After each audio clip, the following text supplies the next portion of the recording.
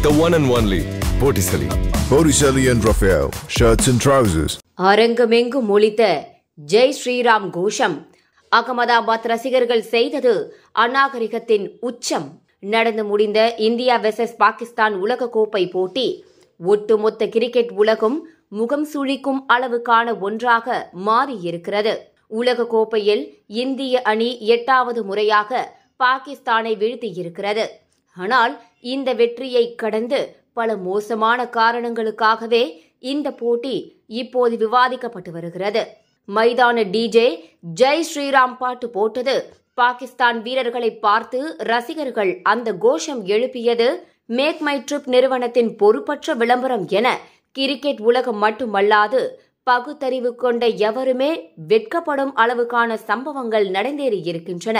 அதிதி தேவோ பவ என மேடைக்கு மேடை முழங்கும் ஒரு தேசம். உலகக்கோப்பை போட்டிக்கு வந்த ஒரு விருந்தினர் தேசத்தின் வீரர்கள் நடத்தப்பட்ட விதம் குறித்து உலகமே எக்காலமிட்டு சிரிக்கும்படி செய்திருக்கிறது.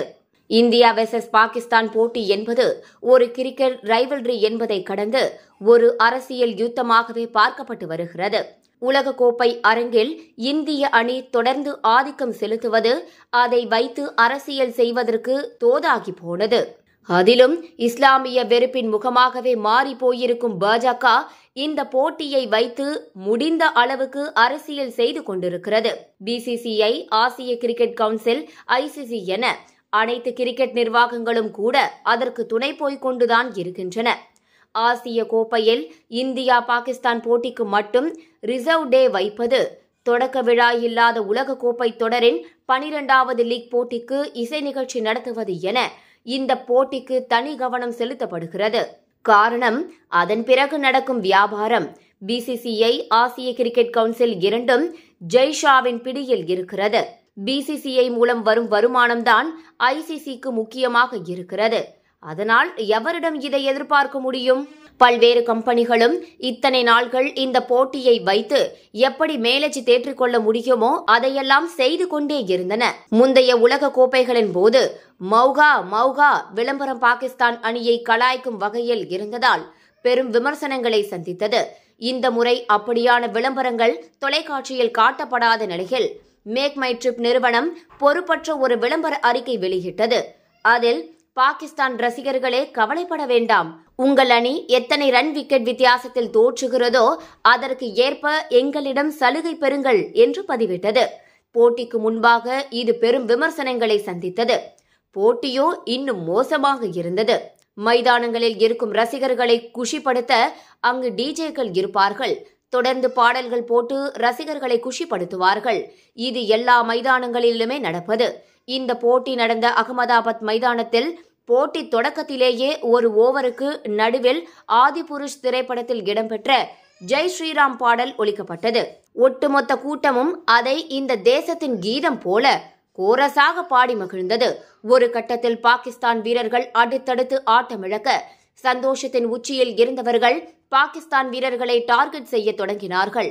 தங்கள் ஆளும் கட்சியின் மந்திரமான இஸ்லாமிய வெறுப்பை தங்கள் மனதிலும் பதித்து கொண்டுவிட்ட குஜராத் மக்கள் பெவிலியன் நோக்கி சென்ற ஒவ்வொரு பாகிஸ்தான் வீரரையும் பார்த்து ஜெய் ஸ்ரீராம் கோஷங்களை எழுப்பினர். இந்த வீடியோக்கள் இப்போது இணையத்தில் வெளியாகி பெரும் விமர்சனத்தை சந்தித்து வருகிறது. உலக கிரிக்கெட் ஆர்வலர்கள் இது அந்த விளையாட்டுக்கே ஏற்பட்ட அவமானம் என்று வருத்தம் தெரிவிக்கிறார்கள். தமிழக விளையாட்டுத்துறை அமைச்சர் உதயநிதி ஸ்டாலின் முதல் பல்வேறு அரசியல் பிரபலங்கள் இந்த செயலை கண்டித்து வருகின்றனர். கொஞ்சம் கொஞ்சமாக இந்திய மக்கள் தங்கள் ஆறாவது அறிவை மனித தன்மையை இழந்து கொண்டிருக்கிறார்கள் என்பதற்கு இந்த சம்பவம் ஒரு எடுத்துக்காட்டாக அமைந்திருக்கிறது. போட்டி முடிந்த பிறகு பத்திரிகையாளர்களிடம் பேசிய பாகிஸ்தான் கிரிக்கெட் அணியின் இயக்குனர் மிக்கி ஆர்த்தர் இது ஒரு ஐசிசி போட்டி போலவே இல்லை. ஏதோ ஒரு பிசிசிஐ நிகழ்ச்சி போல இருந்தது. பாகிஸ்தானுக்கு ஆதரவான கோஷத்தை மைக்கில் கேட்க முடியவில்லையே. இதை நான் தோல்வியின் காரணமாக கூறவில்லை. ஆனால் இதுவும் ஆட்டத்தில் ஒரு தாக்கம் ஏற்படுத்தியது என்று நடந்த நிகழ்வுக்கு வருத்தம் தெரிவித்தார். பிரபல யூடியூபர் ஸ்பீட் என்பவரிடம் பார்வையாளர் வரிசையில் அமர்ந்திருக்கும் ஒரு சிறுவர் கணபதி பாபா மோரியா சொல்லுங்கள் என கட்டாயப்படுத்துகிறார். அவர் மறுக்க அதில் ஒன்றும் தவறில்லை என்று மீண்டும் அந்த சிறுவர் சொல்கிறார். உண்மையில் ஒரு சமூகமாக மிக மோசமான காலத்தில் நாம் இருக்கிறோம். அடுத்த தலைமுறையையும் காப்பாற்ற தவறிவிட்டோமோ என்கிற குற்ற உணர்ச்சி மேலெழும்புகிறது. அந்த சிறுவனுக்கு கடைசி வரையில் அவர் செய்வது ஒரு வித கட்டாயப்படுத்துதல் திணிப்பு என்பது கூட தெரியவில்லை. கடந்த ஆண்டு இதேபோல் முகமது ஷமியை பார்த்து சில ரசிகர்கள் ஜெய் ஸ்ரீராம் கோஷம் எழுப்பினார்கள். இது பற்றி கேட்டபோது கூட தனக்கு அது தெரியாது என்று மழுப்பினார் ரோஹித் சர்மா. இப்போது மொத்த உலகமும் பார்க்கும்படி அதே செயல் பாகிஸ்தான் வீரர்களுக்கும் அரங்கேறியுள்ளது. எப்படியும் இப்போது ஆடும் வீரர்களோ முன்னாள் வீரர்களோ இந்திய அணிக்காக ஆடிய ஆடிக்கொண்டிருக்கும் எவரும் இது பற்றி பேசப் போவதில்லை. அதே சமயம் சிறிய நம்பிக்கை ஒலிக்கீற்றாக சில விஷயத்தை பார்க்க முடிகிறது. ஹைதராபாத்தில் நடந்த போட்டிகளில் தாங்கள் நல்ல முறையில் நடத்தப்பட்டதாக பாகிஸ்தான் வீரர்கள் கருதுகிறார்கள். சென்னையில் பாகிஸ்தான் பங்கேற்கும் போட்டிகளில் என்ன செய்ய போகிறோம் நாம்? பார்ட்டி வேர்னாலும் ஐ ப்ரிஃபர் போட்டிசலி எங்க இருந்தாலும் நம்ம ஸ்டாரா தெரியணும் இல்லையா?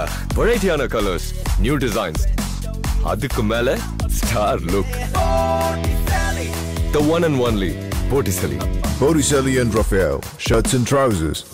புதிய தலைமுறை சேனலை யூடியூப்ல சப்ஸ்கிரைப் பண்ணுங்க. புதிய தலைமுறை சோஷியல் மீடியா ஹேண்டில்ஸ் ஃபாலோ பண்ணுங்க. புதிய தலைமுறை ஆப்பை டவுன்லோட் பண்ணுங்க. டிஜிட்டல் தளங்களில் புதிய தலைமுறை எங்கேயும் எப்போதும்.